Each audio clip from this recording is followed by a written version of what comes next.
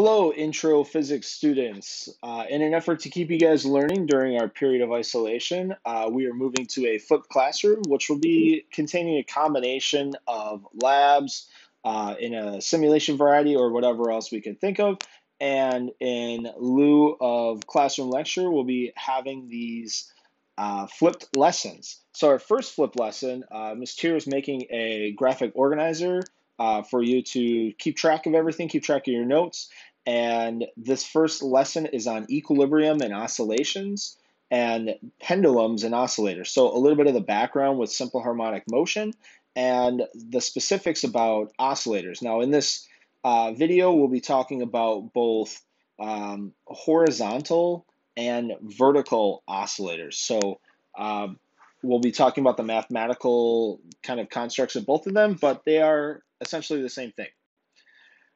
Now, before you actually watch this video, you should complete or should have completed the first lab on simple harmonic motion. Uh, it's a web quest. Uh, there are three different procedures in this web quest. The first procedure uh, was about pendulums. So you got to manipulate uh, the pendulum and kind of take a look at a couple of the things that affect the pendulum. The second procedure was on a vertical oscillator um, and taking a look at what affects the vertical oscillator.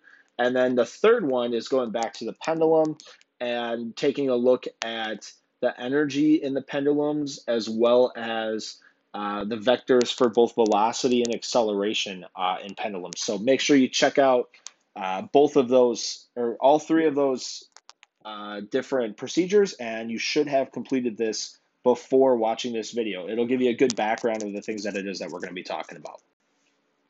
So in this, we're going to be taking a look at this concept of simple harmonic motion. And to kind of get us understanding of what that is, we want to kind of actually take things back just a second.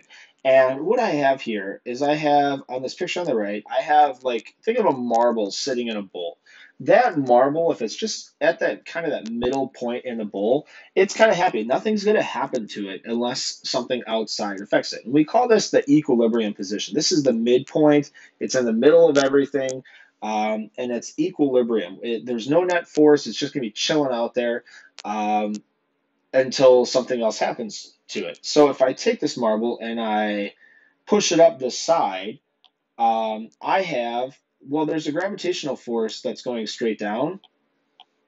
And with that, there's there's obviously there's a normal force pushing up, and there is a y component of gravity. Um, but there's also this x component of gravity, which is represented by this red arrow. And that is going to be a net force that's going to want to push it back towards this equilibrium position. So we call that a restoring force. If, if it's the object is pushed away from equilibrium, uh, then the marble's weight, in this case the weight in the uh, x direction, will bring it back towards equilibrium. And that's called a restoring force. So anytime we have this type of motion, there's something going on with forces, and that's going to bring it back into equilibrium. But when it goes towards or down towards equilibrium, when it's released, it's not going to stop at equilibrium. And the reason that it doesn't stop is because when it hits equilibrium, right here, it still has some velocity. So the restoring force brings it back to equilibrium and it has some velocity. So it actually passes equilibrium and then it goes up the other side. And if we just let this marble roll back and forth, it's just going to keep going back and forth, assuming there's no friction. And it's just going to be going up and down the side of the wall. Now, this is called this repetitive motion is called an oscillation. So it oscillates back and forth. So when you did the the lab, you had the pendulum, and the pendulum was swinging back and forth. Well, it's not swinging back and forth; it is oscillating back and forth. And when you had the vertical hanging mass, it was oscillating up and down. Now, to categorize and to um, or characterize and to kind of explain what's going on with oscillations, we look at back at the terms of period and frequency that we looked at way back when we talked about uniform circular motion. So we're going to talk about that again right now.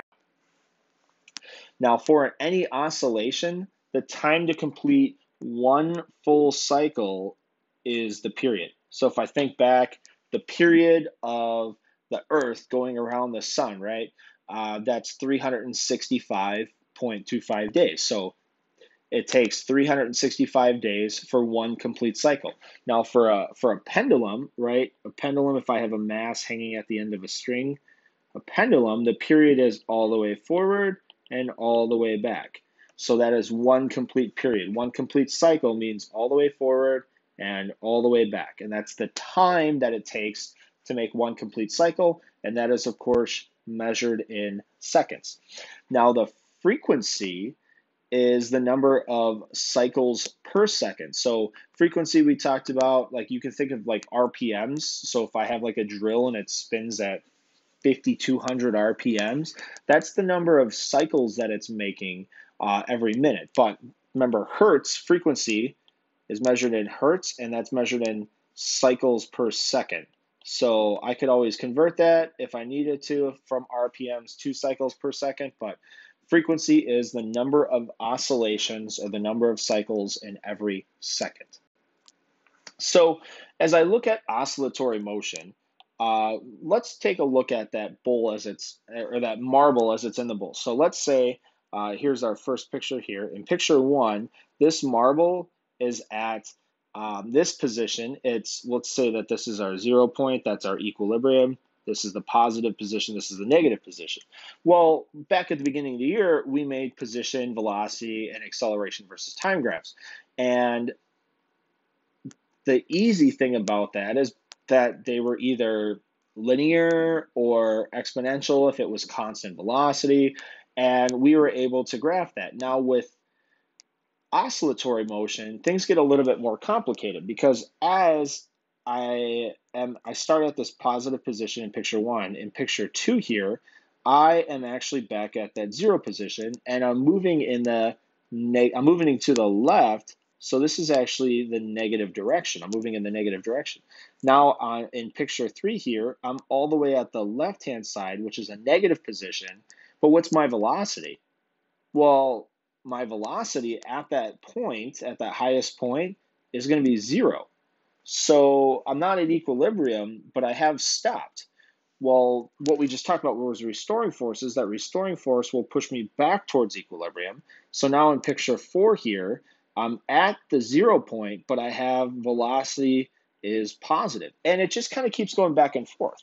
Now, if I look above where these lines are pointing to, every single point on these uh, four pictures that we've talked about so far correspond to a point on this graph, and even the one that we didn't talk about. Now, what kind of graph is this then? Well, this is a cosine graph. So it falls under the category of a sinusoidal graph, meaning it's either a sine graph or a cosine graph, and depending on when we start examining it, will tell us um, if it's a sine graph or if it's a cosine graph. But the point is that it follows this sinusoidal motion. It follows this speeding up and slowing down moving back and forth between a positive and a negative position. So our zero point, that's our equilibrium. We saw that in picture four and in picture two, that's our equilibrium point, but we still have velocity at that equilibrium point. And anytime we have this repetitive motion that gives us a sinusoidal oscillation, we call that simple harmonic motion. Simple harmonic motion. And that can be pendulums, that can be things oscillating on a string or a spring rather that sound there's a lot of different things that we're going to be talking about through the duration of this unit that all fall under the category of simple harmonic motion. So, uh, a couple other things to help us kind of understand and explain what's going on. Um, we're going to talk about this concept right now called amplitude. Now, amplitude is the object's maximum displacement from equilibrium. So here on this picture on the on the right here, I have a not a vertical but a horizontal oscillator. And there's a zero point right here. And what happened was is I stretched it out to the right. So I stretched it out some distance to the right.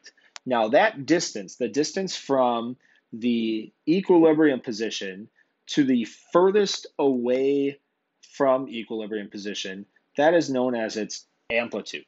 That's its maximum displacement from equilibrium. Now, as I allow this, as I release this, um, this will oscillate back and forth, and it'll, as you can see from this graph here below, this falls under the category of a simple harmonic motion or a, an oscillator. And it's just going back and forth between amplitude and the negative amplitude. So at every time it hits this amplitude point, that's where it turns around and starts going the other direction. So it, it's always undergoing a linear restoring force, so it always has some type of simple harmonic motion. Now we could also take a look at uh, vertical masses. It's the same concept.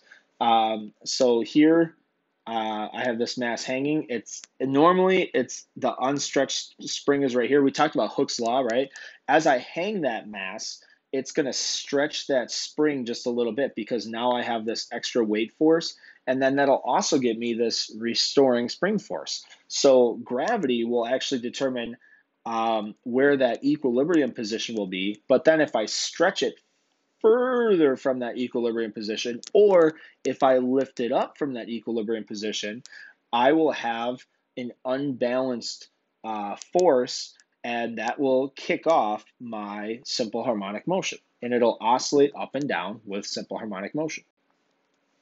So if I have a mass on a spring, what you should have seen in the procedure two of the simulation is that the things that affect the simulation are the K or the spring constant. So um, if I have a higher spring constant, it's a stiffer spring, it should oscillate back and forth faster, which means it would take less time if I have a higher spring constant. So when you uh, you move the slider on the spring constant, and as you moved it up, it should have moved back and forth faster.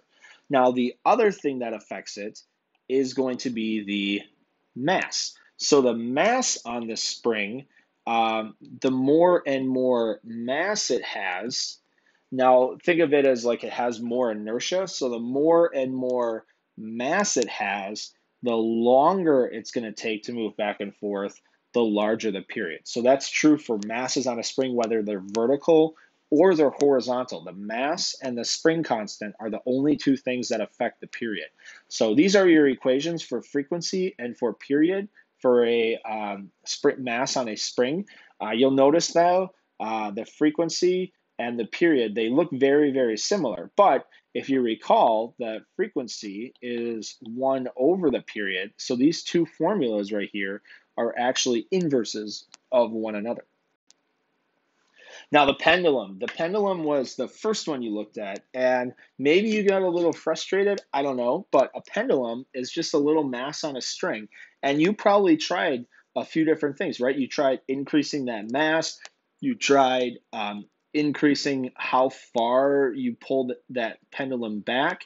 And those two things do not affect how long it takes the pendulum to move back and forth. The reason is the more that I pull it back, the greater this angle becomes, the greater this angle theta becomes, the greater that restoring force is as well. So a pendulum, very simply, is just any mass suspended from a pivot point by a string. So here's my pivot point up top, and uh, there's a mass attached to the end of it. Now, in this case, there is still a tangential component of the weight that's causing that restoring force. So this again gets us um, in some simple harmonic motion.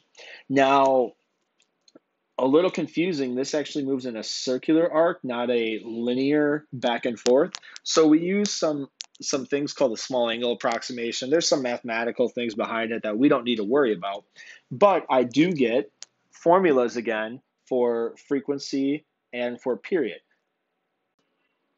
And uh, what we notice with the the pendulum is that the only things that uh, matter is the length of the string. So if you when you manipulate the length of the string, the larger or the longer that string is, the longer it takes to go back and forth. So it gets a little confusing, but period is the amount of time that it takes to make one complete cycle. So if it's moving slow, I always confuse this. If it's moving slow, that means it's a higher period, a longer period, a bigger period, a bigger number. So if it's the slower it moves, the larger the period. But conversely, the lower the frequency because the frequency is the number of oscillations every second. So if I make that string really, really long, so this pendulum right here, I got the mass at the end of it, versus this pendulum right here. So pendulum one, pendulum two. Pendulum two has a longer string, so as it moves back and forth on its oscillation, it's going to take longer to move back and forth.